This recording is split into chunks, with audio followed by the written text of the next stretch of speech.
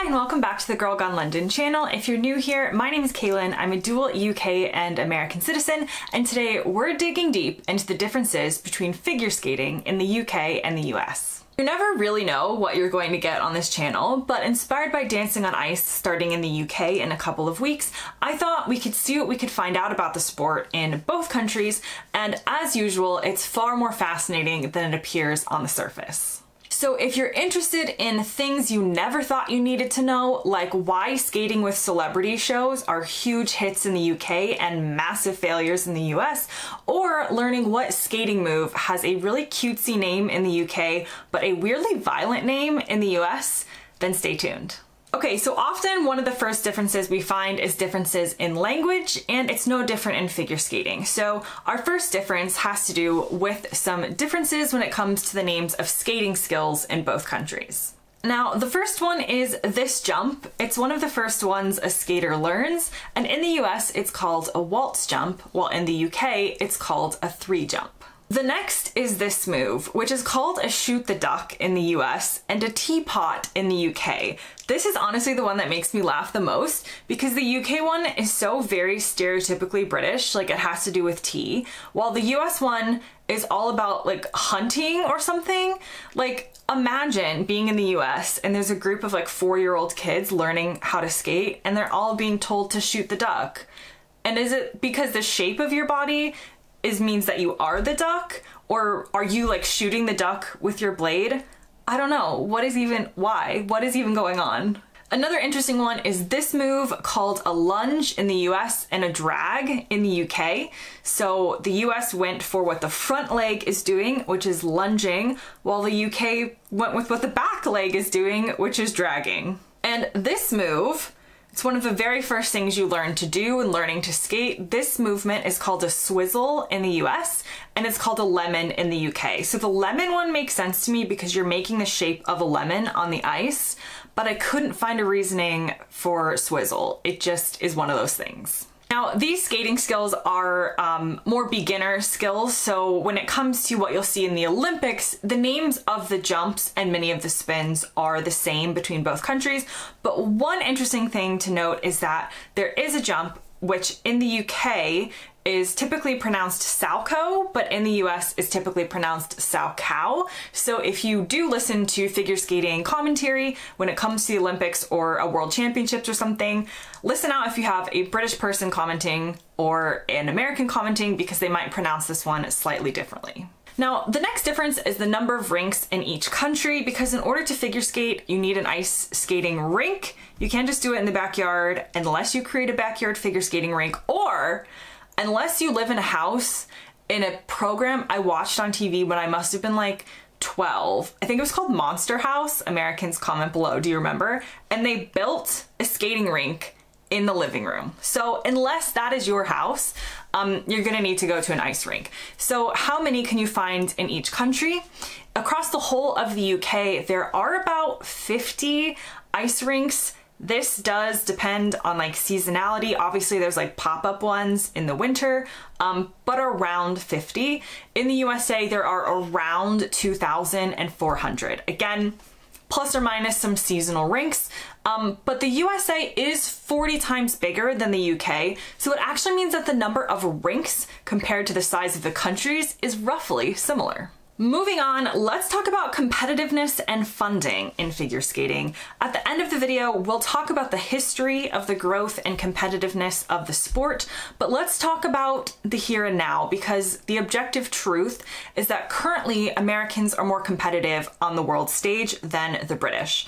The most notable British figure skaters internationally right now are Lilah Fear and Lewis Gibson. They're an ice dance team who are holding their own. They finished in second place in the European 2023 Championships, but looking at the results for the 2023 World Figure Skating Championships, we see an American on the podium in men's, pairs, and ice dance with the British skaters not medaling at all. In fact, if we look further into each discipline to see the gap, In the men's, the USA has a third place, a fifth place, and a 21st place finish, while the British did not advance to the final round of 24 skaters.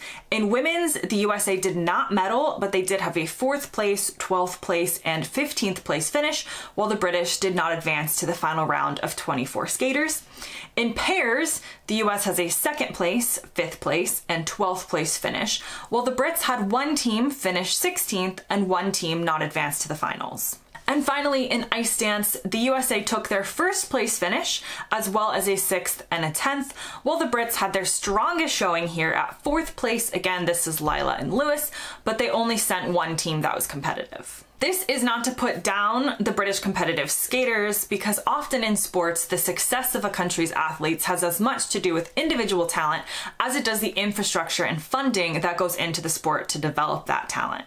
To get to the highest levels, you need world class coaches, a lot of money for all that coaching, ice time, skates, travel, etc. Just a lot of resources. And the closest figures I could find for the amount of funding um, in the US and UK is that the UK currently has an investment of 1.6 million pounds uh, for the 2022 to 2026 Olympic cycle. So that's for all four years. Um, this is around 2 million US dollars. US figure skating, on the other hand, spent $14.5 million in just one year back in 2018 times that by four, and you can see that uh, US figure skating has a lot more investment than British figure skating. And the problem is that the higher athletes rank on a world stage, the more funding they typically get from federations. But in order to perform well on those stages, they often need the types of training, coaches, and resourcing that they can't have without the funding. But let's talk about general figure skating viewership. Who is the audience? In both countries, figure skating is very much considered an Olympic sport or the once every four years kind of sport for most people. The chance of running into someone who actively follows it besides the Olympics is rare unless you're at an ice rink, but studies did show that even Olympic audiences for figure skating are higher in the US than in the UK. According to a YouGov poll, 53% of women and 29% of men followed Olympic figure skating in the US, while in the UK, only 36% of females and 10% of males were interested in Olympic figure skating. Skating in general is more commonly followed during the Olympics in the US than the UK, with even a sport like speed skating having about 30% of women and 35% of men watching, with only 16% of the UK interested. This can, of course, probably also be linked back to the similar vicious cycle um, as we saw with the funding. The US often has multiple Olympic contenders in figure skating, so obviously more Americans are going to want to watch. The more that watch, the more people become interested in the sport, and the more popular it becomes in a country, and the more talent you can find and produce, the more funding that can go into it, and the more people watch, and so on and so forth. But there's one area of skating that the British population love a lot more than Americans. As I talked about at the start of the video, Dancing on Ice is a huge hit in the United Kingdom, about to enter its 16th season in January of 2024. The concept of the show is pretty simple. You pair up a celebrity contestant with a professional skater, have them learn how to perform a skating routine, and then have a panel of judges, and finally, the British audience vote on who wins. With 16 seasons, it's pretty obvious that the British public do like the show, um, and it does focus mostly on learning like tricks rather than really learning how to skate. But it's flashy, it brings out tons of crowds to the ice rink every winter, and we're going to deem it a hit. Compare this with the two tries the US has given with this same style of show. The first was Skating with Celebrities in 2006, and the second was Skating with Stars in 2010. Um, neither made it past one season.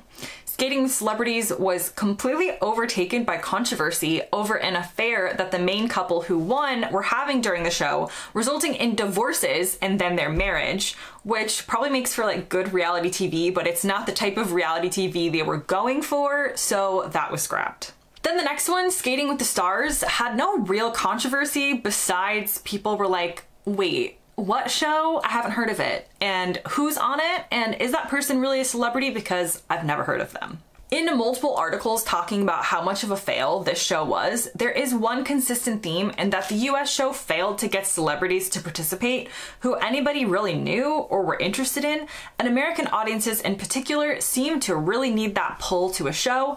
It can be that they want to hate watch, but they still need some name recognition, and a bunch of D and E list celebrities learning how to skate badly just did not appeal. The other hypothesis was that many of the British viewers would have been familiar with ice skating disciplines involving partnered skatings thanks to the success of Torvill and Dean, but American audiences were typically more familiar with single skating and were wanting more of the massive jumps and single skating element that didn't work in that show. So, despite the success of shows like Dancing with the Stars in the US, the skating version never took off, and no network has taken the chance on trying it again since 2010. Our final compare and contrast has to do with the decline of figure skating in both countries. Unfortunately for fans, one of the things that is similar between the UK and US is that both countries had a peak in figure skating and are now in a slump or general decline for various reasons. However, what this looks like for each country is different. So to start with the UK, as bluntly stated in this article um, in The Guardian in 2014, Britain used to be good at figure skating. In fact, a Londoner won gold in the first Olympic women's single figure skating event in 1908, and male skaters like John Curry and Robin Cousins took gold in the Olympics in 1976 and 1980. Then, of course, there are icons like Torvill and Dean who won gold in 1984 in Sarajevo. Then, nothing really since then. Success in sports can go in cycles, but that cycle hasn't happened again in the UK, and again, the experts consider the lack of funding to be a main problem. While British ice skating do have funding for this current Olympic cycle, that was pretty big news. They haven't had this in past cycles.